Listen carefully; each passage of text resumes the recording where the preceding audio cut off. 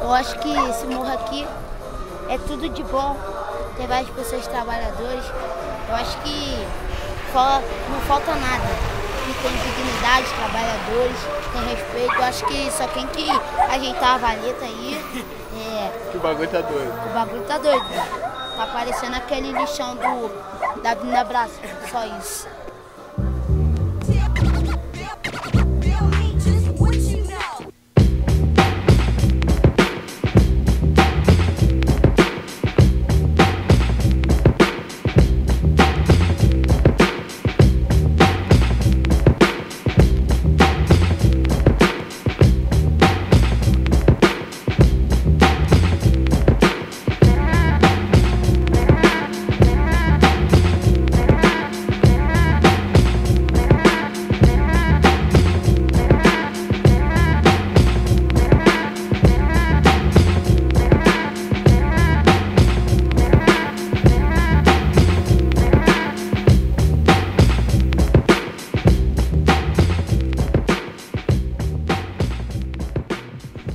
O projeto Grafitando com os Anjos surgiu de uma conversa que a gente teve com o Rodrigo é, depois de uma exposição de grafite. Aí começamos com três semanas de oficinas é, no Morro e Rodrigo mostrou para as crianças sobre os cores, sobre desenho é, e a gente viu como as crianças começavam a ter mais criatividade da, da que elas já tinham.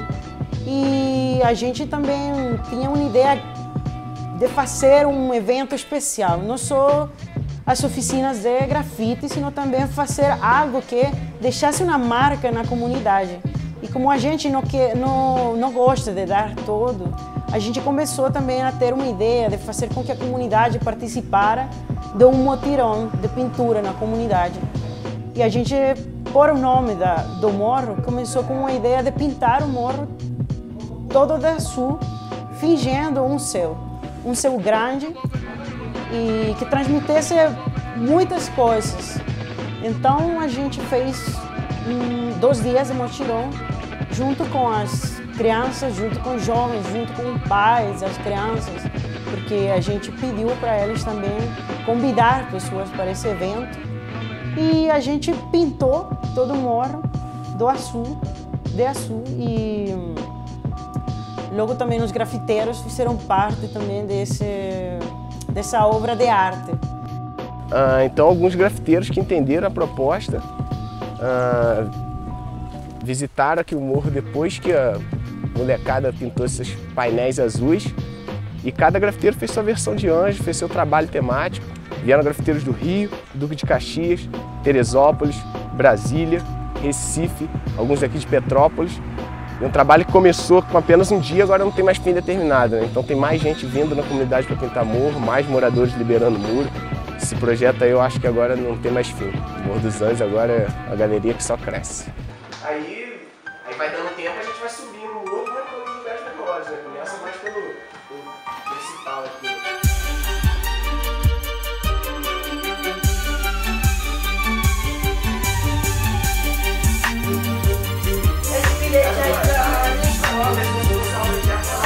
A ONG Brasil pela Dignidade tem esse princípio, não de ser assistencialista, de entregar tudo pronto, e sim de entrar numa comunidade para construir coisas juntos com as pessoas. Né? Isso para a gente é a coisa mais importante, fazer com que eles também se sintam capazes de contribuir para a melhora do lugar onde eles moram. E elas também merecem e querem oficinas de qualidade oficinas onde elas possam tirar realmente algumas, alguma coisa que elas precisam, onde elas possam aprender coisas que sirvam para o futuro e realmente oficinas onde elas possam se divertir, se sentir úteis, fortalecer a autoestima e levar isso para dentro da casa deles e depois para a vida deles.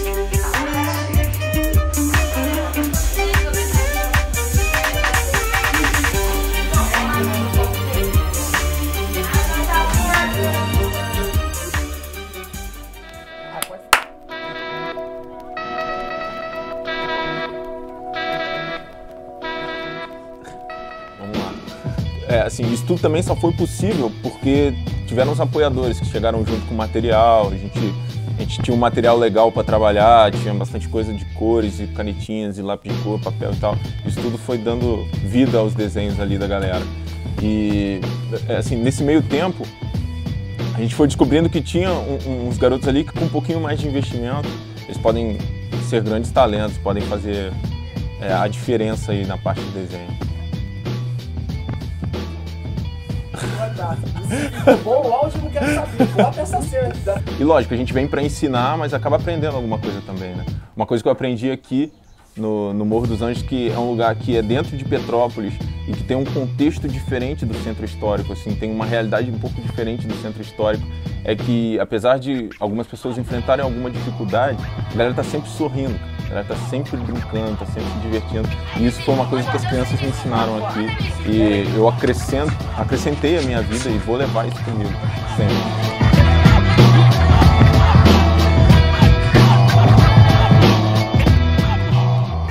Desde o princípio a gente não queria fazer nada passageiro nem volátil, assim. a gente queria fazer algo concreto, real, que mudasse uh, não só as paredes, não só a capa de onde a galera mora, mas algo que botasse dentro da cabeça deles de que eles podem.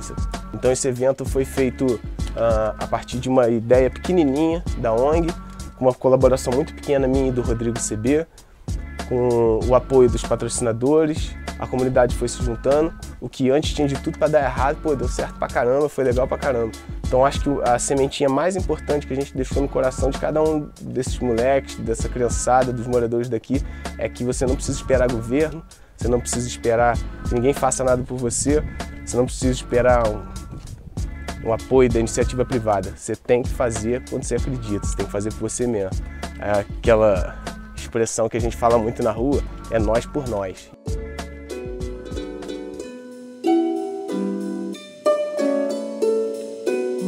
Grab a pencil and illustrate verbs and penetrate blurs. Cause poets are soldiers that liberate words. Freedom writers escapes, control of the norm. Consoled in a poem to edit my surroundings in poetry form. As I shape life, then bust it again. With the thrust of a pen, percussion with sand. A vision to my ear with the colorful uh-huh. blend. I paint pictures that's a talent itself. Expanding my realms and planning to create words. Understanding that it abandons the wealth. Excludes pain in this poetry that is often seen rather than felt. Implying both in my life with the post when I write. Drawing pieces of poetry with words words sculpted precise, just knowing I might fail trying to take chances. But my biggest failure's a blank canvas. A writer's block to think inside the box. Insanity can take your mind to a different dimension. Fine art doesn't create a line, it punch to a deep, blunders and leap. Creativity's prone for mistakes. Artists knowing which one to utterly keep. The perfect error that can catch the artist. Sometimes it's worth it going past the margin. I think I signed the Writing in my book of rhymes, all the words past the margin. Past the margin.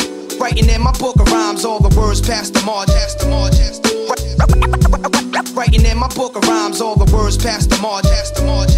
Writing in, in my book, book of rhymes, all the words past the margin. I'm like a scholar with street sense. To squeeze a dollar out of these three cents. To breach limbs when my hollows follow these beat plans. I spit it to perfection. So kill your fluke and fill the new injection. No question, I swallow these sweet trends, just flexing. Yo, yo. Tech, yo, the function that we brains, that next shit that gets your head bumping like cheap drinks. We getting bread, something like G strings. But when it's red rum, son, we get that lead buzzing like bee stings. Objections can get your crew handled. Abuse vandals. Dudes couldn't catch me slipping with new sandals. With true samples and heavy lyrics, my groove tramples. The fakes who hate for paperweights, we use anvils. Silly niggas can smoke simply thinking they dope. I be listening to they punchlines, thinking they jokes. Say, yo, they better shift the shit that they spoke and face the ink in they quotes. Cause in the battle, kid, I'm sinking they boats. Matter of fact, trick, I'm slitting they uh. throats. These so called heavy hitters are missing a lot of grip in they strokes. We shake their minds till it's breaking their necks. And since they already blind, now we making them deaf. If you don't wanna give me mine, then we take the respect. You get wrecked, never wasting time chasing the check.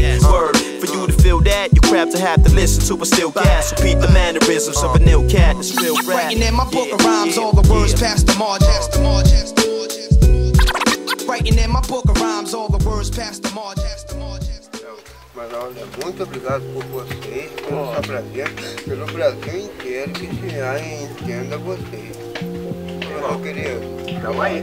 Firmeza é nós mesmo. 10. 10. 10 pra todo mundo então, né? Valeu. Eu acho sinceramente, de coração, que esse projeto não é mérito meu, nem mérito da ONG, nem mérito de nenhum dos grafiteiros individualmente que veio aqui. Para mim, esse projeto é mérito desse grupo, desse coletivo, assim. Virou um, grupo só, uma família só, a molecada do morro, os grafiteiros que vieram de outras cidades. Acho que a mensagem final que tem que ficar é essa. É, você não precisa esperar nem nada, nem por ninguém, tanto no Morro dos Anjos como em qualquer outro morro, qualquer outro bairro. É nós por nós. Você acredita, você faz, você acredita, acontece. Vamos que vamos.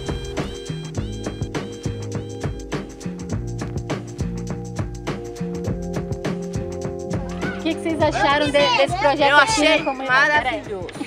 Por quê? Eu acho que todo bairro tinha que ter um projeto desse para as crianças. Tinha que ter mais coisa, mais trabalho com esses adolescentes. Perde tempo. Chega domingo, né, maninha? Não tem um, um parquinho. Tem nada de diversão pra eles, só fica assim. Hoje, pergunta a eles o que, que eles acharam esse dia. Pra eles foi festa. Pra dormir lá em casa, tinha que contar, foi marcar um horário. A mãe assim, não, tem que acordar cedo, porque amanhã eu vou ficar trabalhando o dia inteiro. Entendeu? Então, é um projeto que foi bom, eu gostei. Tinha que, por exemplo, fazer uma reunião com os pais, chamar, porque os pais também gostam de participar disso. Só não entra, só não chega, que eles ficam, alguns ficam com medo, meio receio. No começo tem um pouco de timidez é, também. mas vai chegando devagarinho. Aqui onde a gente mora hoje em dia, muita coisa que acontece. É, por exemplo, é, a menina nova tem filho, é garotinho, menininho já se fundando em droga. Então, tem que ter uns projetos para trabalhar com essas crianças. Não é só aqui, não. Lógico. É em outros bairros, em outros lugares, se tu for, tem crianças também pedindo ajuda, socorro. E nisso, o que, que aconteceu? Foi uma luz.